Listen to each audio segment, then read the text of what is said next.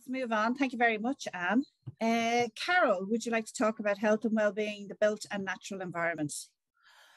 Oh, um, my name is Carol Baron. Great to, to see you all and, and most of my colleagues here this afternoon. my background is in nursing again, general nursing, but predominantly children's nursing and neonatal intensive care.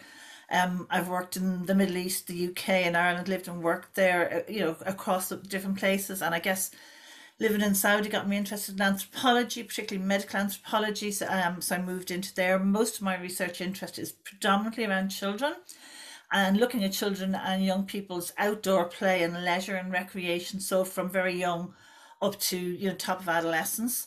And at the moment, I've got a strong focus really on the built and natural environment, particularly in relation to mental health and physical health. Um, I've a keen interest in children's participatory research methodologies and implementing their voice in policy. So it's one thing to do research. Personally, I'm quite practical and I like seeing it put into policy, get, getting used somewhere. So I have a strong growth for that.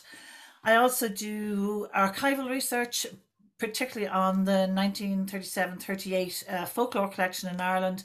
And there's two strands in that that I I just look at, which would be folk cures, more like folk medicine, medical anthropology, and then the history of children's play and their games.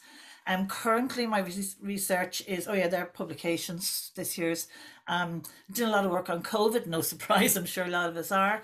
So um, I did. We've just finished um, a survey a few months ago on the use of parks um, across Dublin, and I got a bit of funding from Dublin City Council for that. So we're working on the publications coming out from that.